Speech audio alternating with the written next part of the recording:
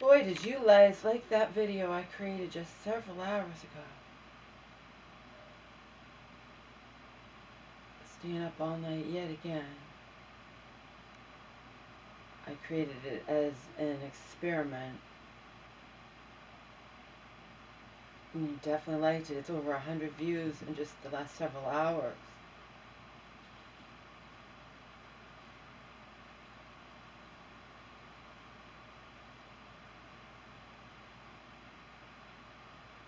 Um, my mom could be home. She went somewhere after church, but there's no saying how long, which means she could be home in that's home or in the bathroom eating. Uh, he's safe in there. It takes him forever to eat that food.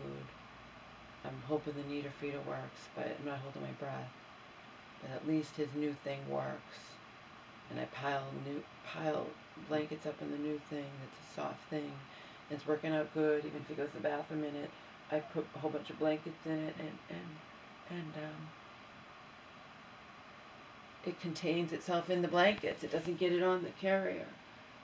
Whereas, I mean, he's flung poo poo right through the bars of the old cage, which is gone, gone.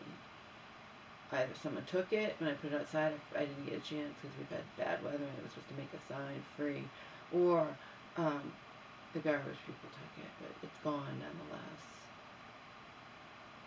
Actually, I think my the garbage people took it, but I left it out beforehand and nobody obviously wanted it.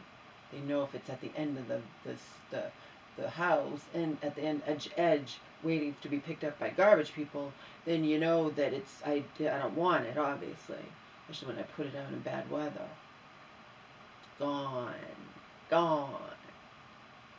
Anyway, you guys not surprisingly loved that video and it was simple enough. So I thought I'd do a repeat of it, but you know, look a little not be in my pajamas.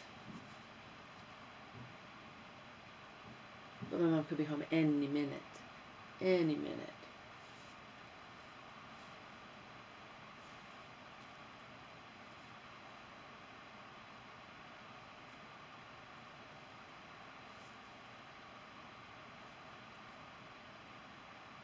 I slept a good six and a half hours, so that's decent. It's just, it's still not as healthy sleeping, you know, going to bed really say at 5 and sleep until 11.30 as opposed to going to bed at 12 and sleep until 6.30. It's provably not as healthy. But I'm staying up making videos and making myself more popular.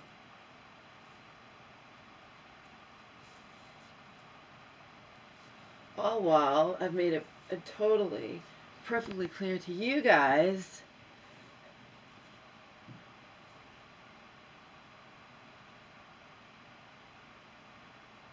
I wish I could be with, with Joe.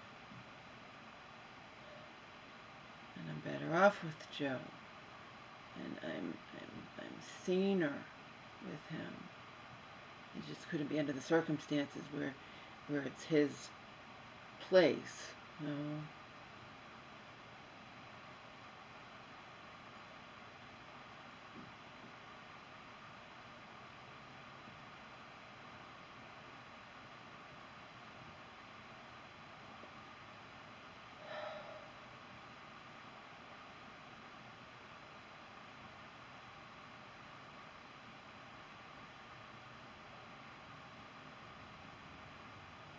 I said, even though Joe had our moments and he couldn't stand Omar,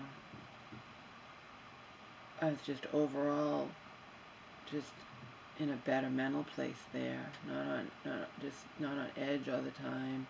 Plus, again, he keeps his place clean.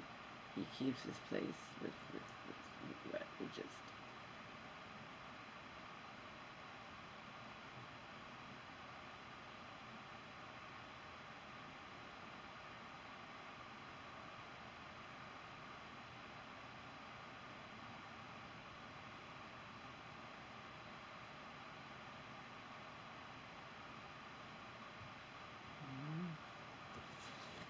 But there's your explanation for why I've gone into overdrive. I've gone into overdrive with these videos because, again, there the, the, the, time period that I live in, this day and time, this is available and I, I can do it for free.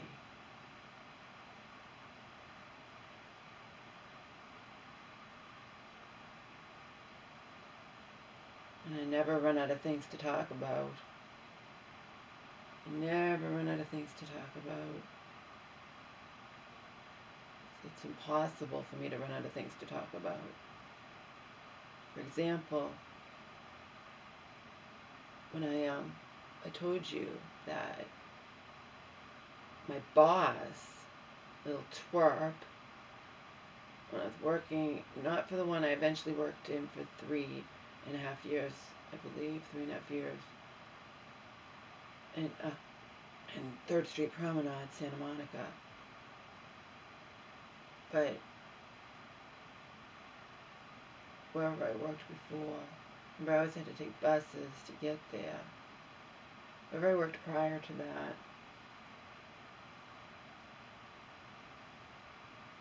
it was the parking job.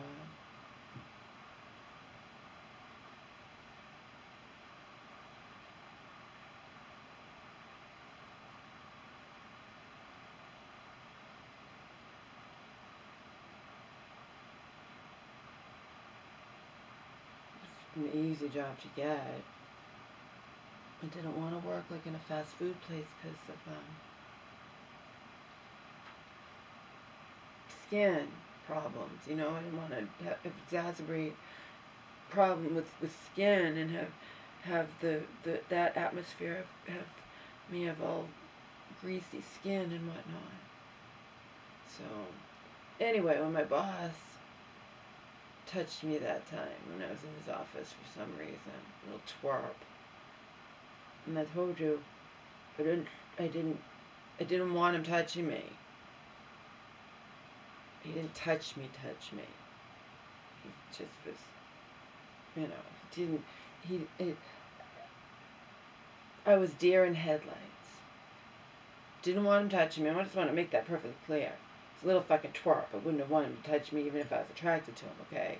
We're in a work environment.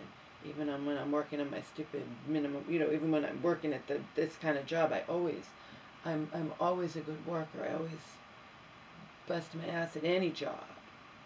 In fact, when I worked at a fast food place and when I was um, in college, just, you know, and, uh, and to, to support, you know, Nobody handed me any anything. Um, they didn't like how much of a hard worker I was. They, they wanted to slack off, and I made them look bad. Some of them weren't afraid to say it. Plus, the way that I looked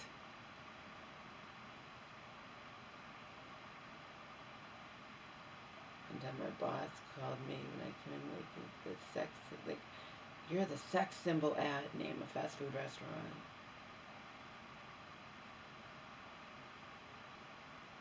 And then a customer one time was like, like I'm like, what do you, what do you want? Like, it's been food. Take your order. And he's like, he's like, I can't say that, and it's not on the menu. Remember these things. Oh, he says,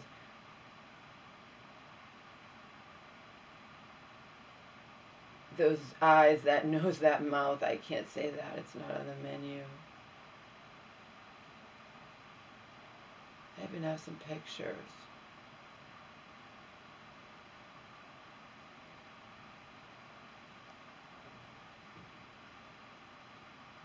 I kind of made friends in there. They were not, not, it's not exactly real friends though.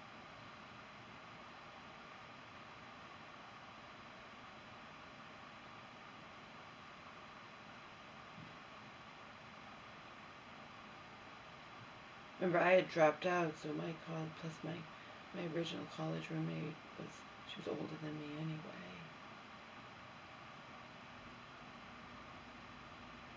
The friends I'd, I'd had, the good friends I'd miraculously had, that could have turned out differently too.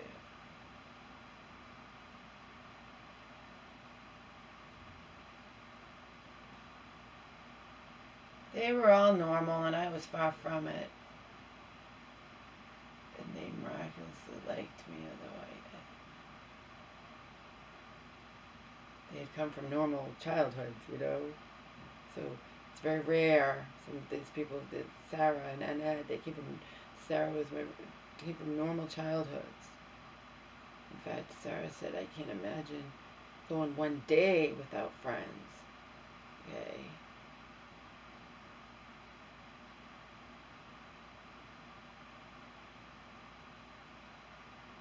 And I it looked, and I just wanted to just sink into the earth all the time.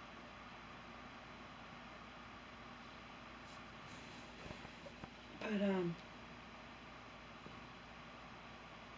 remember, I just come from four years of abuse at the hands of my father.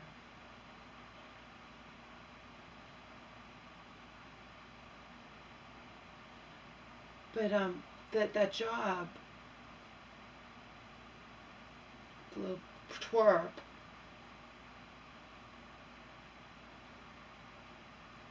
and he uh, he, it didn't stop him from touching me because I was deer in headlights. It wasn't because I feared losing the stupid job. It wasn't because I wanted him to touch me. It was deer in headlights. I, I get like that. I get like that. But remember, I was being abused by Donald. So my life had become what I wasn't expecting it to become yet again. Yet again, my life had become what I wasn't expecting. And that is just like another slap in the face from the universe, you know?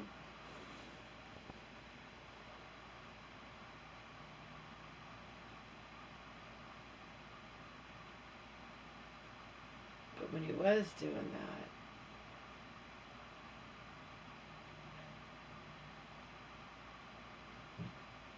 again, the way I looked, even a lot heavier, I still looked good. And, and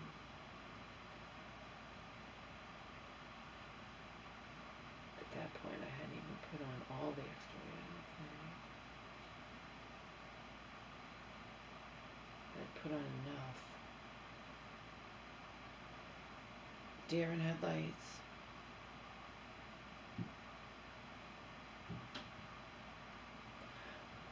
When I came home here to visit, remember when I left, I was Earth Cam TV goddess with not an ounce of fat on my body practically. Okay.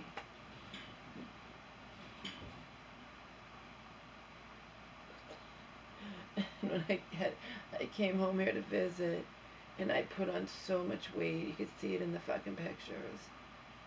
I put on almost the, the, the total of 72 pounds that I was going to wind up putting on, going from 160 when I first met Donald in two, two, 2000, 2000, right? Yeah, 2000. Um, and eventually going all the way up to 232 pounds.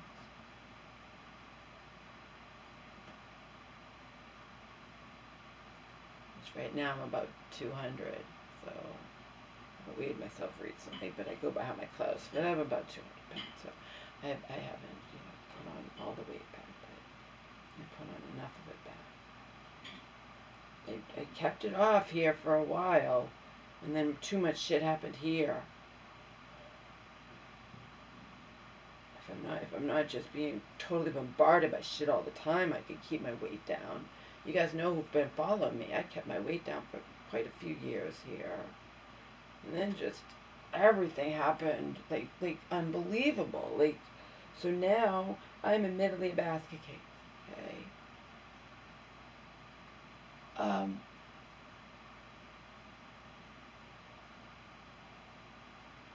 but I do this for you guys from afar. It's safe, relatively, relatively safe. Don't think I'm stupid. Don't think I don't know that that that I could have unknown, unknown number of human beings out there of both sexes like hating me. Strangers out there hating me. I know.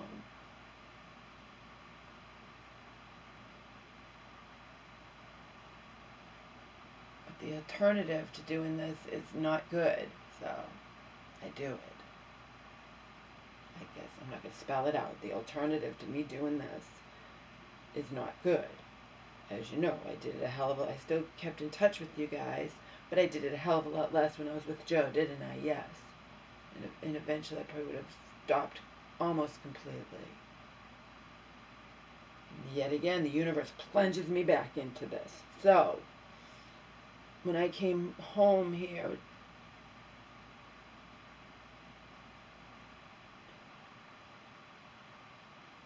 back home from California to Massachusetts to visit. So it wasn't really my home anymore. My aunt was fucking reveling that I wasn't the little sex kitten anymore, that I put on all that weight. You could see it in her fucking eyes. She loved it. She fucking loved it.